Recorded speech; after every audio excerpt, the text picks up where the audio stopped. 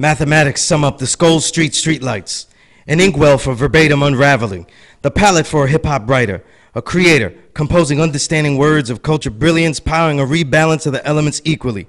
Audio these pages of rejuvenated reaffirmation, simply the almighty leadership of insightful craft work that stands to build to any conversation born to be. And now the daily duty use, is using ears for the good to filter the real. And as the art decays by dilution, he concentrates the best again and again, exposing it in the pod. S Street, the evolution of media, where every intrigue will have its own show, every incredible thought will have its own episode, and every timeless insight will be archived. Today I am the journalist, tomorrow your historian. Here is some sword scrolls swung on a special broadcast. Leading off, this is your brother, the lone low life with the home sewn garment, the Boricua with the build, the true and living God stepping in score. Allah, aka Skillustrator Low. And this is a Power Write Show special, a very special one that was called out to build with um, an incredible artist who has done something probably more artistically incredible that has to be done and takes a lifetime to do. But before I get into that, let me tell you though that this Power Write special just tuned in to the regular Power Write show, the only show on my element of hip hop. The writer, as I call it, of art on art and science on music. The only show in history on the hip hop writer element that I, a veteran over 20 years, helped pioneer and create. So tune into that regularly on S Street Media. Then this special here, though I couldn't continue with my special, I'm talking with a great author today. Um, without telling you about my book forthcoming, though, the ebook, I got an ebook coming soon called The Filtered Real Essays from the Invisible Renaissance.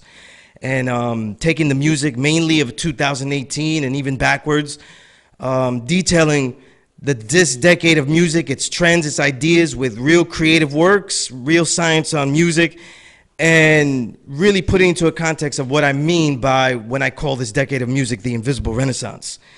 But our guest, and what makes this a Power Write special, is my guest is Chi Ali. Peace, peace, Peace. King. And you know, when I first think of Chi Ali, I think of this quote from, um, there's a quote from the Dhammapada. It says this The Dhammapada is an ancient Buddhist text, and Sutra 21 says, he is without blame, though once he may have murdered his mother and his father, two kings, a kingdom and all its subjects. Though the kings were holy and their subjects among the virtuous, yet he is blameless. The, father, the followers of the awakened awake, and day and night they watch. You know, that's a, a sutra called Out of the Forest. And it's mainly saying that it doesn't matter what you have done, it's how you deal with what you've done and how you come back to be righteous in some kind of way, that you continue that war toward some righteous path. You know what I mean? That's what Dhammapada means, the righteous path. You know, and when I started to read the book and the ideas uh, of your book, um, you know, this is what immediately came out. Just some background for the listener. Chi Ali, to me, out of all the young MCs, young rap acts, because there's a difference. There was definitely a difference back then.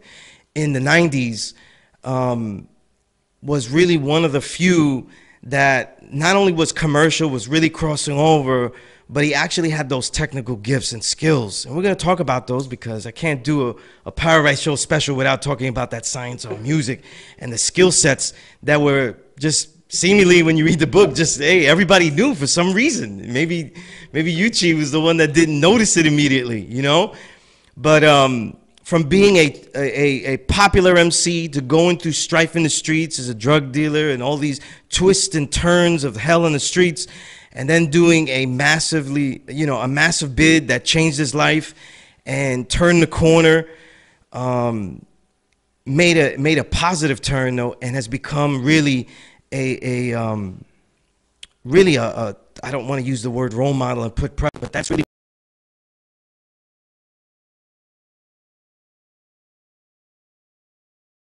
you've penned your autobiography up to that moment when you're leaving jail, um, called Another Kind of Freedom.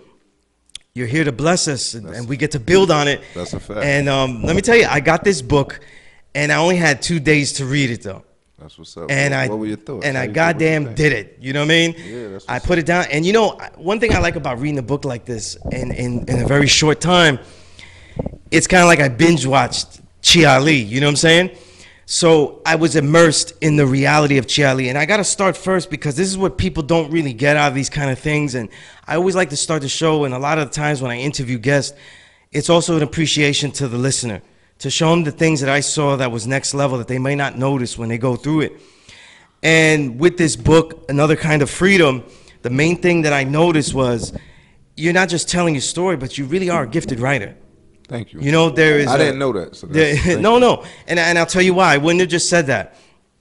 Um, it is very difficult to hold continuity with with an audience. You know what I mean? And, and hold continuity and keep them guided into it. And also, when a life like yours, which is continuously hellish, the reader could sometimes lose focus.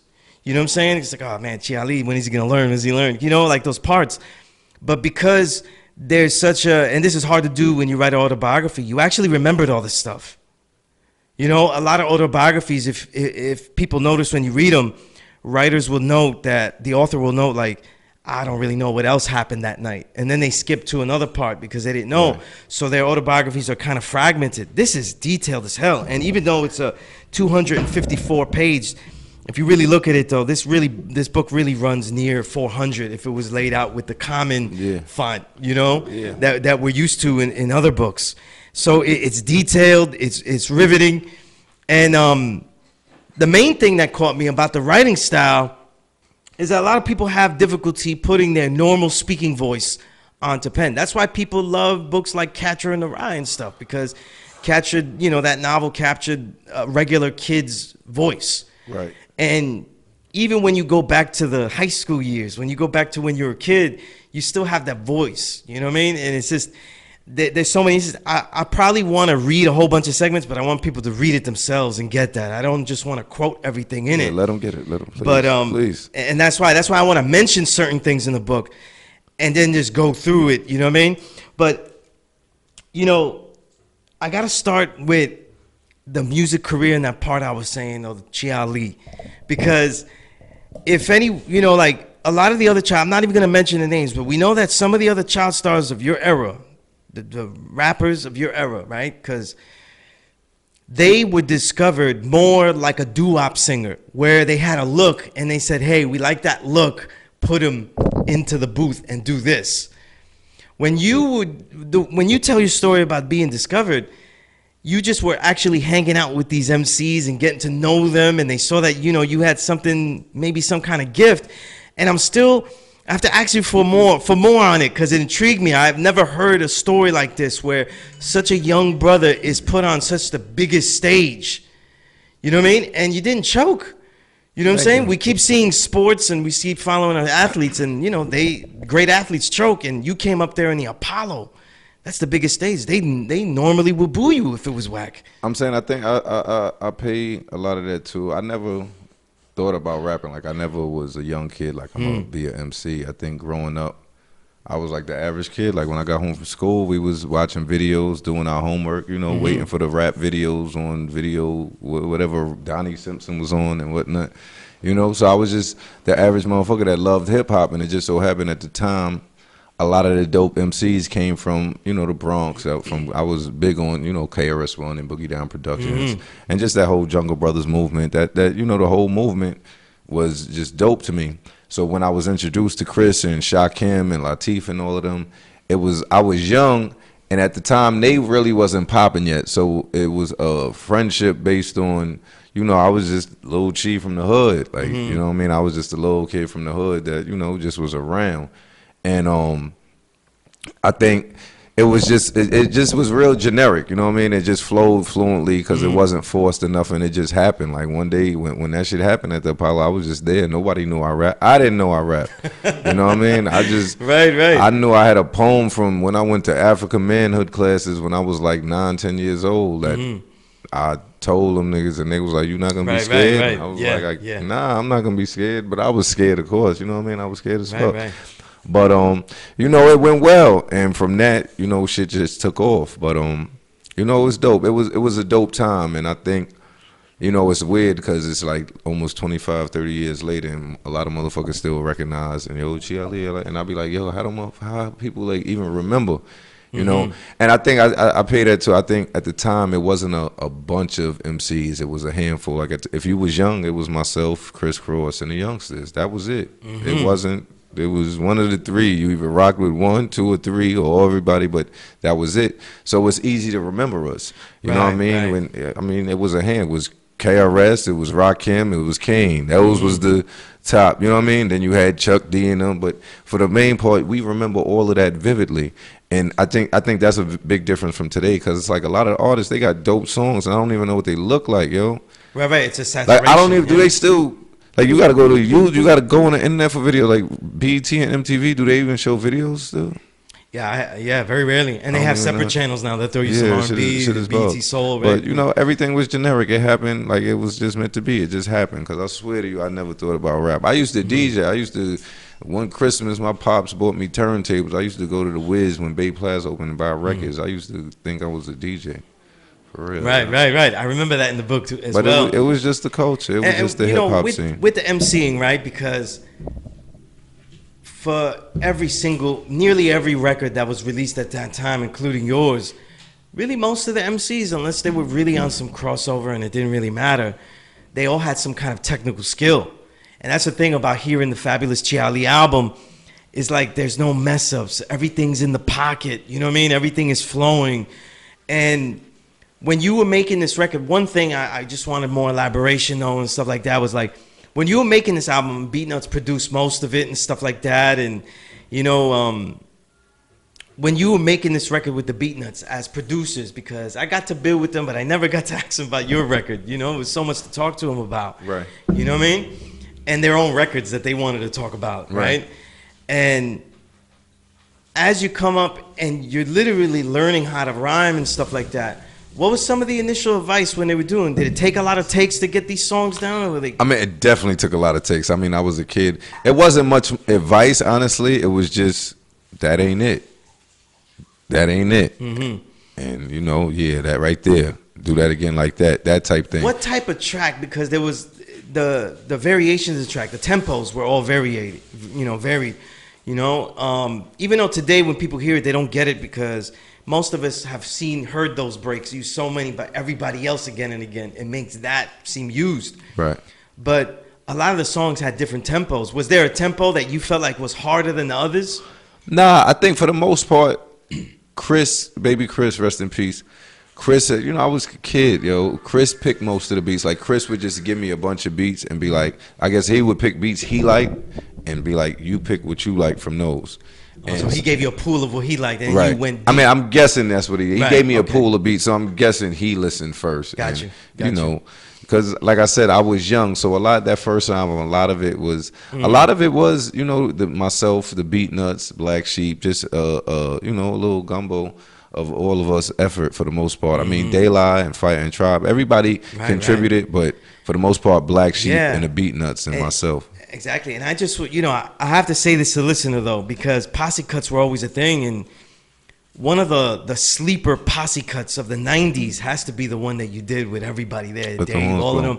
That that beat still it has a unique, fresh break on it. Like Thank it's you, really wasn't really used. Well, you that know, much that's you know, tribe. That's Yeah. that's that native tongue thing. You know, everybody loved De La, Phife, rest in peace. Um, you know, it was just a dope time. So it Mm-hmm. Yeah. was a dope time for rap, for hip hop, for MCing, and it's it's ill because I never would have thought like 25, 30 years later, a motherfucker still be eating from some shit we was just doing to do, like not thinking about it. Mm-hmm. Right, and it's right. like wow, that shit is, is dope. It's pretty dope. Yeah, yeah, and you know, to me, it's really one of the necessary crates. You know, when you're digging in the crates and you say, "Oh, you gotta have that that fabulous Chi Ali," you know what I mean? For sure. But when I when we you know when the two things about that after the record is made that I was thinking about like because this comes up a lot in the book and I'm going to say this later the whole retrospect thing because Right. I thought that was incredible. I've read a lot of autobiographies. I've never seen like it highlighted like that. We'll talk about it in a minute. But you were doing that through the whole book, and that's what makes the book so appealing because it has a sincerity to it. You know, you you really go back and try to, you know, even though you admit a lot that you were an asshole, you really try not to be an asshole when you look back and do the knowledge and say, I mean, how did this go? I'm a Especially with your natural, though. Like with the asshole thing, like I'm a natural. It's not like I try. So a lot of shit, I'm not really Right, right. Mm-hmm. trying to offend you. I'm just, you know, being. and, and for the like- for the re, for the reader that's definitely going to get this book um there are parts where you really had a real nice comedic tone with it too where you were saying something and you're like see i was an asshole and i just thought that was funny though so yeah, thank ChialiBX.com. Go get that too, yo. word word and um but one of the retrospective things notes that i i, I thought about because as a journalist for all these years since 94 I, I try to judge the music on the music and not basically what the music did as far as commercially. Right. I want to judge the music on how dope it was and how sincere the, the MC was, whatnot, right? And since you put out everybody's thoughts on what those singles should have been in the direction, I just want to put my pitch in there that you read the book and stuff, I was with what you were saying. Yeah. You know, I wanted you to release the you? more rugged guy. I'm, I'm 43. I'm So, 43. Yeah. That's why. yeah, yeah. We knew I what it like, was. That's you, why. you were saying I gotta put something for the street. I They was was like, yeah. Mm-hmm. older and they was thinking, you Yeah. know, millions of dollars. Yeah, because we was thinking hip when I was watching, when I was watching Ain't Ain't Nothing But a Number, I was like, man, that's dope. But I, I wish he rhymed something like more hard. And Funky Lemonade was almost there. It's almost there. Then But there was some "Nah." other cuts though. That I, like the the intro and the first three cuts. They wasn't hard. with that though. They was Yeah, like, and I was like, those would have been like perfect B sides at least though. Like like See, know, they was on some, you know, they was on the commercial thing. They was trying to get money. They was trying to get money. Mm-hmm. Yeah, yeah. And my thing was, yeah, but y'all don't got to walk around this motherfucking city, like you know what I mean? right, like I yeah. Mm-hmm. got to be running around the hood. So, but you know, Yeah. Yeah. was supposed to happen. anyway, that was I, I had to put my vote in there just so it's cataloged for posterity and Heard shit. you. You know what I mean? but um, you know, let's go. You know, let's go to um, to another thing here, right?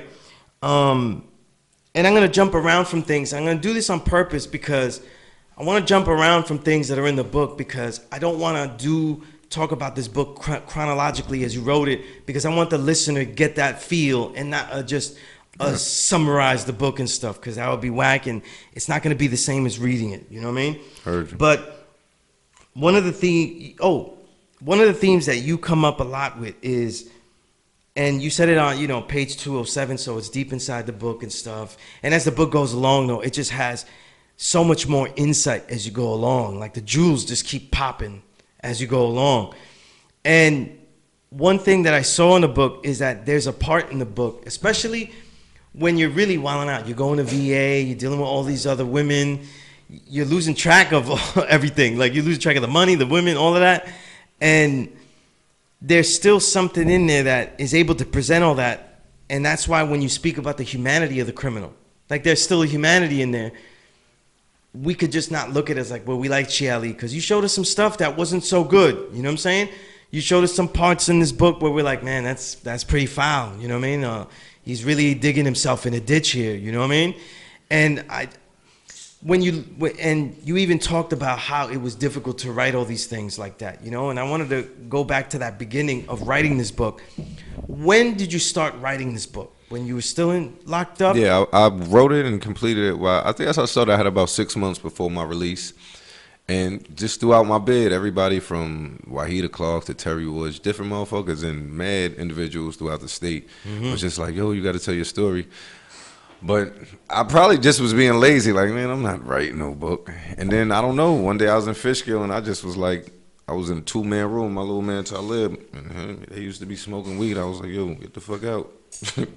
and I started writing, yo. And he used to, after that, it I was just, just came the, the spark I just, just was like, yo, I'm gonna just start from the beginning, mm-hmm. and it just started flowing. And then once it started flowing, I was just more consumed. Was like, is it mm-hmm. gonna be enough? Like, is it gonna be enough information for a book? Right, right. Like that's what I was more concerned with. I've helped people write their autobiography and their ideas in that in that fashion. Did you, when you started, did you go? I'm gonna only think about the beginning and then go chronologically, or did you just let sometimes, when a story came to mind that was later, you just wrote that down just in case you might forget No, I was trying to go chronologically, but if something popped up, I might and do a on cut a side like note cut just just write something that um, I know would bring my memory back to know what I was talking about. Got you, got you. And figure out where it fit into the timeline. Got you. Absolutely. Absolutely. I def- definitely see that. You know what I mean? Um, now, this is a question that I had. This is just a generic question, but you know the part. I'm not going to say it because that was an adventure. That's one of the most interesting adventures in there. Um, and you know what I mean. Uh, when you were talking about Smiley, was that is that the same Smiley the Ghetto Child that was down with, with uh, uh, Gang Starr Foundation? Absolutely.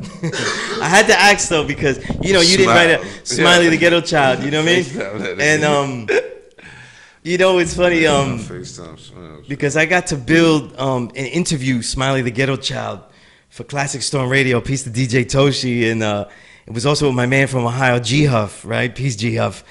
And um, that's my first time meeting Smiley. And when I was reading what you were saying about Smiley, I said this has to be the same Smiley because That smile. I never saw a character like that. Smiley's The, amazing. his his character was crazy He's dynamic. still amazing, and, yo. I was with him like three Yeah. weeks ago. Smiley's amazing. Smiley Yeah. mid sentence, he just go woo. Yeah, yeah. He just go woo. Like I bugged. think it, it was me. It was me. It was um, C-Rayz Walz had a release party last year, and he had Smiley the Ghetto Child do some songs as part as part of the bill. And Smiley the Ghetto Child did like a half hour set, and he did everything literally in like a straight kata, like it was like in a horse stance, like kung fu horse stance, and he was punching all of the words, like, and it was thirty minutes. Like the Yo, set was like thirty minutes. Crazy, yo. The Fuck energy rap. was that just nigga's Yeah, crazy. it Smiley's was mind blowing. yo. You know, and like when we did our interview with him, you know, Toshi was like, because Toshi's real quiet, he let him out, and you know, we do the outro without him. We just we don't need him for there, so he could go and everything. And we just hear Smiley playing his own song that he just came out and yelling about his own song in the dead of night in the street and telling just random homes about his song. It was just you, it's a character. It's a character. Yo, Pure hip hop. I swear to God, Smiley's crazy. Yo. Pure hip hop, man. I was like, I knew it was that that that had to be that Smiley. There couldn't be another one in the Bronx like that. You know what I mean? but um, back to the actual title. You know, the title's unique. Another kind of freedom. It insinuates that there were two types of freedom. You know that you're referring to. What do you, when you wrote when you thought of that title? What were you thinking? The title, honestly, the title is something I thought of more recently, and that's just a way, uh, just a mental state of where I'm at right now. I mean, everybody is gonna, of course, correlate it to my physical freedom from the sentence. However, it got nothing to do with that because when I was physically released from prison, I don't feel I was free yet. Like I didn't have a grip on what it was yet, what I was doing, what it was yet. I still, you know, you go through a lot of shit while you in there. I was still bitter, and I still am to this day bitter towards certain, you know, groups. I mean, Sure, like sure. I just like just a lot of government shit. Like shit, most of the organizations, you know, with a flag on it is responsible for you know the black man's demise. Like, so I feel away. So when I say another kind of freedom, it's just more about the state of where I'm at now. Like I'm able to do what I got to do and take care of what I got to take care of without you know having to really take part in um you know uh, I guess everyday normal society. You know, I could talk to the kids and go into jails and Right, get bread right. like that, doing shit like that. So for me, that's dope. hmm Absolutely, I definitely see that. You know what I mean? And I saw this, and it's very subtle in there. But that war between, um, you know, their system, their programs, their ideas, but then at the same time, and I just want to pose this as a as like just being totally trying to contradict you and put you in the spot there with that idea. Someone would say, looking at you, maybe a conservative person that doesn't understand, maybe they read the book and they still don't get it, right?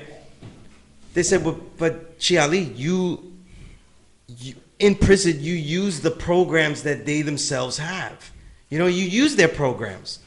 So how could you be against what they were doing? You know, then that means I mean, I would wouldn't that say- be a justification that Nah, the to people, system? it's a lot of people that feel like the college, especially Republicans, again, conservatives, they feel like the college program should not be in the prisons. They feel like if I Mm-hmm. got to pay hundreds of thousands of dollars to send my kids to school, why the fuck would a motherfucker that killed somebody get a free, Right, get a right. free ride? And I get it, I get their viewpoint, but my point is this. 99% of the people in prison is coming home one day. And if they not learning nothing, they going to be taking your purse and busting you upside your head again. Mm-hmm. You know what I mean? So if we want to eliminate that, we got to give them some knowledge, wisdom, and un- and understanding. And at the end of the day, the money is gonna get get spent anyway. The money is being Mm-hmm. spent anyway, whether is it's all type of silly shit the money is spent on in prison. So why not spend it to educate people? The program in the Sing Sing, myself, my bro right there, we both mm-hmm. completed the program. Like it was at one point, I don't know if it's still current today, but at one point, everyone who graduated that program and went home, no one it was zero percent recidivism rate. So that meant no one came back. So that would mean that it's doing something positive. So why wouldn't you implement that in more prisons rather than be reducing the, the mm-hmm. college programs in the prisons? So you know, I just be on some other shit with it, man. It's just, it's just, this whole system is just crazy funny still. But you know, we here now. Absolutely, yeah. I definitely appreciate that. You know what I mean?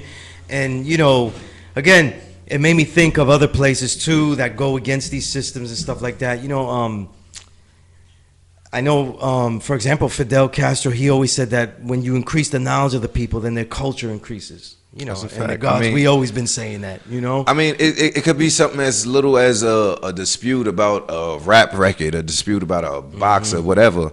When two people dialogue, we could disagree, we could agree, whatever it is. But when we disagree and go back and forth, usually when it gets violent is when someone gets upset, and usually they get upset because they can't express themselves to the level of the other person, mm-hmm. so they take it somewhere else. Right. You know what I mean? So that's why it's it's important. This little things like that, education and just learning how to express yourself and talk and write, like it's just it's taken for granted because we think it's common knowledge. But in when you were in prison, I swear to God, I didn't realize there was so many motherfuckers that didn't have like D, GEDs and diplomas. Like that shit was amazing. I was like, so many people got to go to height like GED class. It's like, what the fuck is going on? Right. And mad motherfuckers can't read. and you started to see these trends, and then it became a thing, right? Where Yeah, I mean, these trends. like when you hear about the um, illiteracy rate, I think a lot of that is the motherfuckers in prison, yo. Like it got to be because most of the people I know on the streets, like little kids, can read.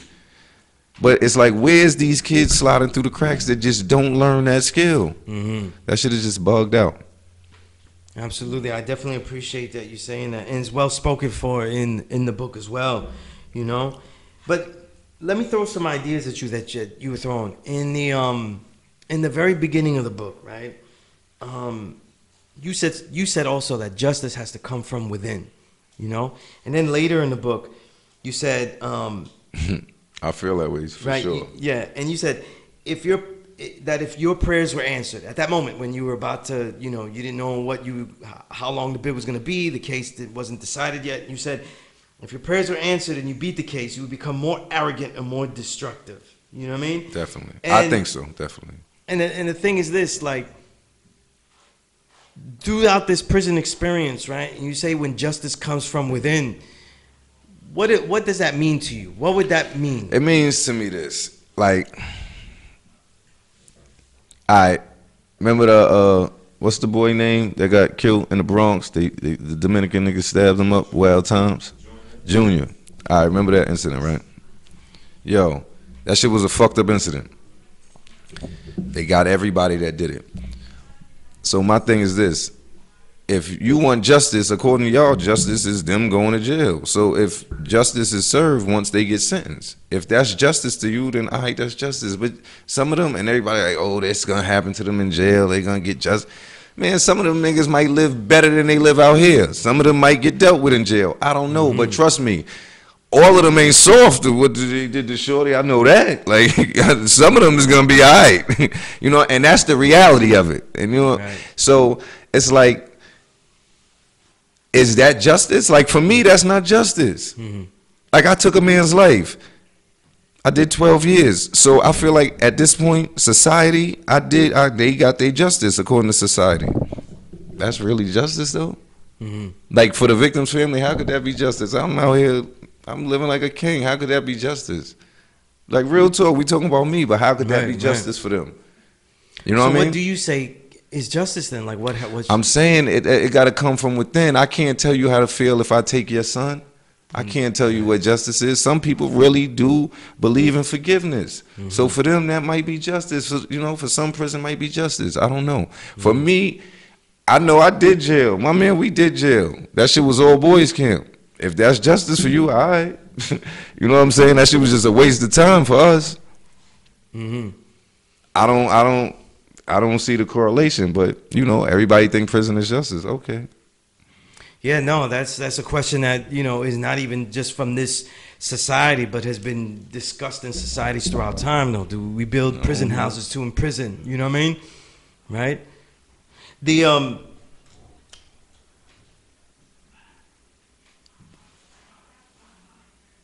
There's also, you know, along with that idea, though, there's also the idea that the black man, the original man, is often presumed guilty. And that was an interesting thing that you had of the commentary about the America's Most Wanted, because that whole show, technically, the people in the show weren't found guilty. Yeah, you know what I mean? They're not even give caught you, yet. right? They might give you a disclaimer, but everything that they were showing was really. But that shit is the, just fact. the bias, the the, Mhm. the people in the world's opinion. That, oh, this motherfucker's crazy. He killed somebody over too. Oh man, I, if I see him, I'm calling. You know what I'm Mm-hmm. saying? That shit is just the bias, the people's opinion, man. You don't have, you wasn't there. Mm-hmm. How the fuck you know all of this? and the, the nigga dead. And you wasn't there. How you know? That's why the whole system is funny. The DA and your lawyer, neither one of them was there. Yet they telling the story. they telling the story. You sitting right here. you know what I'm saying? That shit is crazy. But you know, it is what it is, man. Right, absolutely. You know, I related a lot to the end when you know you were asked to teach and help teach certain classes and stuff like that. Um, this is part of my history in the community. Uh, uh, once I got knowledge of self, teaching at a law school, having a class that deals with the youth coming in voluntarily, and See, that's justice. That's I- I see that. I see you that. See what I'm saying? Because it's like, I, I ain't turned myself in. I ran. Y'all caught me. Y'all sentenced me to 14 years. Cool. That was the law, the state, people getting their justice. For me, like at the end of the day, I killed a black man. I killed my daughter's uncle, my baby mother's brother. At the end of the day, like I feel like I got to do something. So when I'm at a school or when I'm going to jail, that's me doing something. That's not nobody's mandating me to that. Right, right. You know what I mean? And that's justice. Hmm. You know what I mean? that that- du- that duty of being civilized Yeah, now, right? fact, That's a fact. Understood, understood. And you know, well, you know what was interesting is that there's always this difficulty, and this is difficulty you talk about throughout. And you know, and for example, where you talk about jail friends versus real friends, this idea of changing the, the, the scope of our people's thinking of what our relationships, what our morals and ethics, and how we relate to each other. You know what I mean? And there's very few. They're very, you know, disposable, you know? And a lot of times when we start teaching the youth, if they come with certain levels of savagery, certain wrong ways, certain things like that, it's hard to turn them away from that, especially if they continue to be alive with those methods. You know what I mean? That's a fact. And since you've since you've gone out, what are some of the things that you've learned in dealing with the youth as far as like you know interacting with them and and dealing with them? You know, like It's work. We got work to do. Like, we got some work to do. Like they don't have a clue. They clueless. But I guess at one point I was right there, so I can't. You know, you can't be too hard on them. But it's like when we go to Rikers Island, we, me and my son, we go to Rikers Island. We be in the in the Bing in, o, in OBCC, and um, you know, so everybody, you know, we it, it was it, it was it, was warm, so we outside with the brothers that's in the Bing, where they in their little rec pen okay, and it's like yo the level of not just ignorance but just being lost is at an all-time high i mean you got kids like yeah son I, yeah we was getting it popping with police yesterday ah, ah, ah. and it's like bruh they trying to give you 30 to life you know what i'm saying like I, you focus on all the wrong things right now and it's not gonna hit him till he got about nine ten years in Right, and he right. realized god damn like i'm not halfway done yet Mm-hmm. you know what I mean? So I'm just, you know, trying to let them know and trying to trying to trying to give back like that. Like if I could help a motherfucker from walking that path that you know that have to hurdle that obstacle that I had to hurdle, Right, right. or even being on the other end, because you know either way, either way, and um, it's ill because like with the whole Nipsey shit, and um, everybody with the dude that allegedly killed him, mm-hmm. it's like yo, but everybody family that lose a loved one feel like that. You know what I'm saying? Like we going crazy on homie because it was Nip. I get it. But who lose a loved one and don't feel the same way about the person that did that? You know what I'm saying? But it's not an outcry like that. You know what I'm saying? And I gotta feel that way because I was the motherfucker on the other side. But at the end of the day, it's everybody lost. We just as dead as the motherfucker we killing. Mm-hmm. Especially at that time. You know what I'm saying? And I get you know, you still get a lot of negativity like on social media and shit, like, oh, he's a killer, he this and that. And I'm like, yo, all right, I did that. I was fucking 21 and I made a mistake. Mine might have been a little more blatant than some of yours and I got caught for it. But at the end of the day, what you want me to do? Go kill myself? If I if you don't want me to kill myself, I got to keep living. And that means I got to keep moving. Mm-hmm. Like I got to keep it pushing. My condolences. I did my time. The family was cool at the time.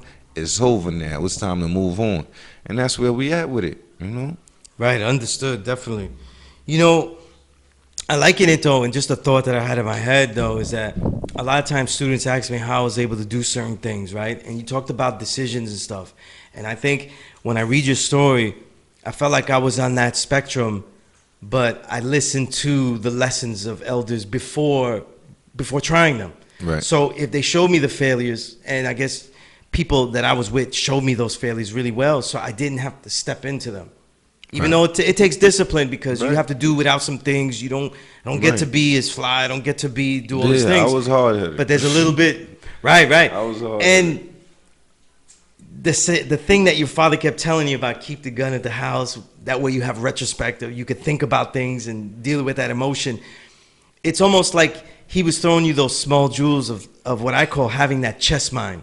You know, because you can't play chess without thinking like what they might do if you do this. If I move this piece, what would they do to this piece or my other pieces? Face, you? You know? And if you can't, if you could think like that in real life, then you would say, ah, But now You know? that I'm home from prison, like I can think like that, cause you like when you be dealing with parole and shit like that, you gotta, cause you gotta think for other mm-hmm. motherfuckers, cause some motherfuckers is retarded, and they just never been through it, so that's the last thing on their mind. Mm-hmm. You know what I mean? But they don't realize how easy it is, and when the shit happens, you gonna be you. Mm-hmm. Let's go. So Right. you got, we got to be cognizant, and mm-hmm. I always I'm thinking for other motherfuckers. Motherfuckers think I'm crazy, yo. My friends think I'm crazy, yo. Like they think I'm literally crazy, yo. even in what you were saying, you were saying when you got your degree, you said that positive people care about tomorrow, while the average person that is not the negative only think about today. But I was also Because thinking if that, you ain't got nothing, what the fuck? Shit. and I was also thinking that nigga, tomorrow gonna be fucked up like today. Right. Shit. Right, man. yeah. Fuck that. But here's the thing, right? Even in your like your thoughts about different spiritualities and things like that, right? Even the majority of spirituality, especially Christianity, also remind the person that this is all you have is today too. You're not promised tomorrow. That's a common thing told to us if we deal with religions. So it's hard to get into our people's mindset that yo, like, if you do make it past today, these will have repercussions tomorrow. Like there is a connective tissue in, the, in all this. You know what I mean? And that and that's difficult. You know what I mean? Sometimes we have to end up showing our stories and stuff. So I want to continue in this other thing in this vein because I want to spend a lot of this interview on your thoughts and ideas, but also what you're doing after. This great story though doesn't really need much detail. It's so well written and so detailed. Thank you, bro. It isn't redundant. You know like, I yo, that shit means a lot, bro. Because I swear to God, when I was writing it, I don't, I ain't know how people yeah, yeah. take it. It's it's a hard life, and it doesn't seem redundant. You know what I'm saying? And I think like the parts that are repetitive, like what, like you know, because you just kept dealing with all these women, you just kept dealing with the dealing. At the same time, though, I I felt this is my perspective on it. I felt it led up to the shooting to the inevitable. you know what I mean? To the inevitable, because right, because there were so many mistakes being made and decisions that were overwhelming. And now you made a slap, and it was. I thought it was very telling that it it it was in a weakened state that you ended up doing this because you were very sick yeah. and you, you ended up reacting like that. And it's just very telling how a lot of times we make our worst mistakes when we're angry or weakened or you know what I mean? Because we have to summon extra energy. into some shit I didn't even think about. I was in a weak state. Yeah. Mm. You know, and look, we we do want to deal with that knowledge though. How we make devil? We make devil by making him weak and wicked. So he's not wicked; he has to be weakened. Then he commits the act that is wicked, Mm. right? Because nobody's a devil unless they do a wicked act. But if they're in the wicked state, they're more likely to do something wicked, you know? Mm, that's a jewel So- you could use if you choose. yeah, so I thought it was just really telling. But I would say this to to to you, to all the listeners, and to a thought I had in my mind. I think that you are a writer. I'll say that now, and in five in five years, because I want it faster than ten.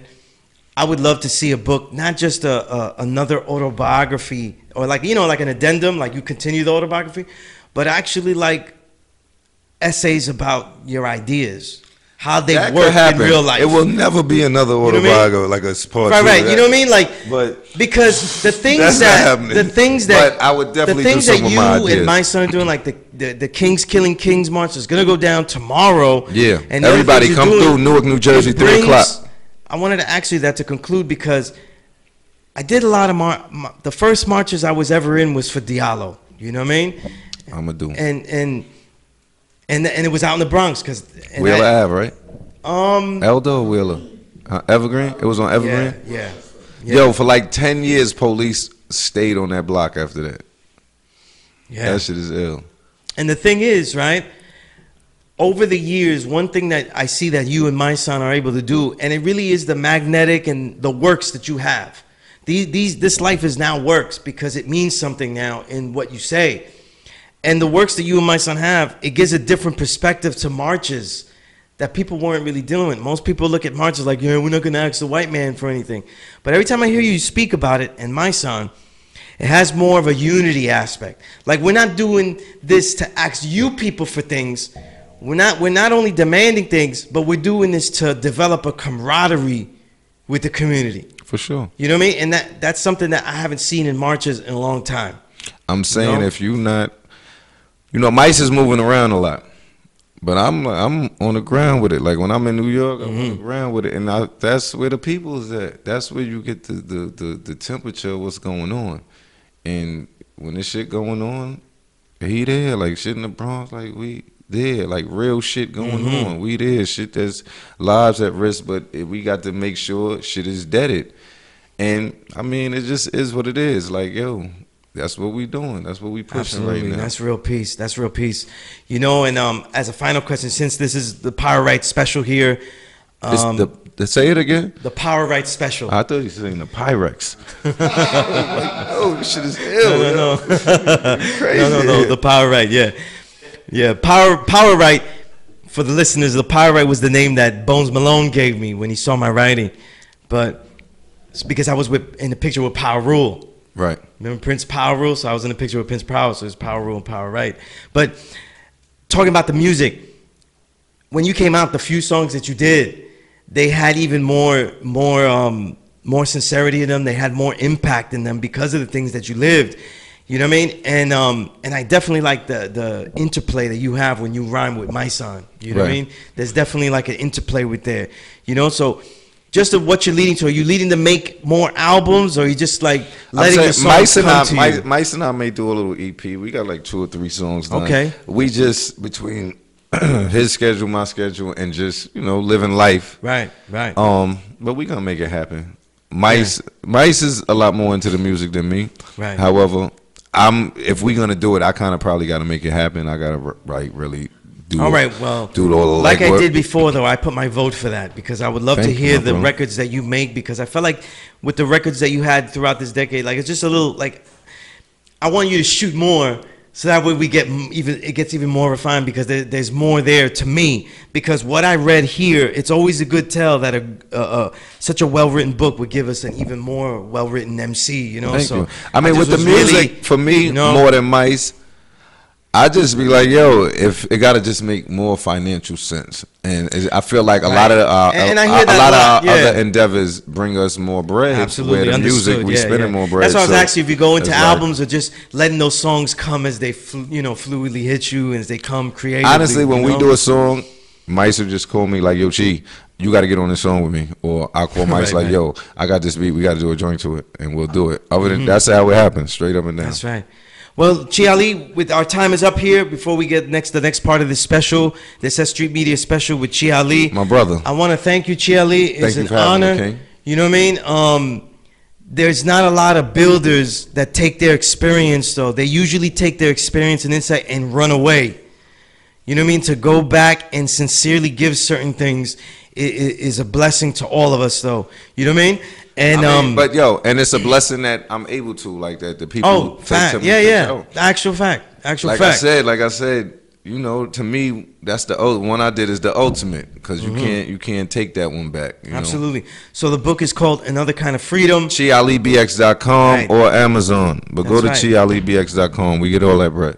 That's right. That's right. More direct. You know what I mean? And with that said, on to the next show.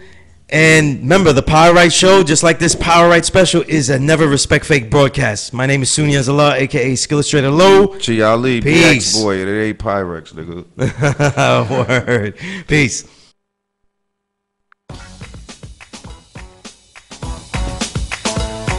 Yeah, yeah. Flow keys, yeah, I got you, baby. Set it off like this. uh, the verse is like wrong. Locked down like harp on the arm. Two meanings at once, you know the rep, and not a dance to it, so you couldn't know the steps. and that's two more meanings at once. I tuck four in the fall like I'm beefing this up. Throwing roids in the rap, boiling the batch. The tour turns into dope boys in the trap. Leaning off the love, how the noise will react. And tell the pen lovers the employment is back. back to it like today was the third. Saran rap to it, high tape up the words. Call me Riddle Man. Phone jumping like I'm the middleman. Hand work with the lines until a finger jam. Hit the man like it's test the season. When I tell you I can stretch, believe it. Uh, Okay. I've been winning without paying attention to the game. Hustling, grinding, doing my own thing. Flipping this music like bricks of cocaine. This is audio crack, you inject me through your vein. I've been winning without paying attention to the game. Hustling, grinding, doing my own thing. Flipping this music like bricks of cocaine. This is audio crack, you inject me through your veins. Murder, murder, lyrical asserter. Cook the competition up like a fucking burger. The disturber, I ain't never heard ya. Raps more softer than a little can of Gerber. Baby food, I pay dues and then some. I learn how to turn this music into income. You win some, you lose some, but that's how I go. If you wanna get the bread, you gotta jump on the road. Do the show, get the dough, then you go. That's how I was told by my OGs. That's how they showed me. 40 ounces of OE, puffing on blunts, fucking with stunts, cooling like Moe Dee. I've been a grinder since I can remember. Timberland boots, Gore-Tex in the winter. Never been a fighter, I'm a rhyme inventor. You good? Tell them focus, sent ya. Uh-huh. I've been winning without paying attention to the game. Hustling, grinding, doing my own thing. Flipping this music like bricks of cocaine. This is audio crack, you inject me through your vein. I've been winning without paying attention to the game. Hustling, grinding, doing my own thing. Flipping this music like bricks of cocaine. This is audio crack, you inject me through your vein. Hey yo, now audio crack man, sell it to the black man. I got that dope shit. Call me Mr. Smack man. I let it burn right up and down the turnpike. Give me a bull dagger. Watch how I turn dice. Lights, cameras, action, Oscars, Italian, pastas, weed, rosters, whatever you believe in. Do it till you stop breathing. Till they kill me, I ain't gon' stop eating. Why would I? Good fella, good guy, hood fly. Nigga keep the whole hood high. G spot, he hot, Nikes, no Reeboks. Acapella dope beat, even the beatbox. Used to put the T-top 300Z. Rolling on B's, now I'm rolling on E's. 2018, we don't ever drive OVs. Cause your boy blow money like it grow on trees. I've been without paying attention to the game. Hustling, grinding, doing my own thing. Flipping this music like bricks of cocaine. This is audio crack, you inject me through your vein. I've been winning without paying attention to the game. Hustling, grinding, doing my own thing. Flipping this music like bricks of cocaine. This is audio crack, you inject me through your veins.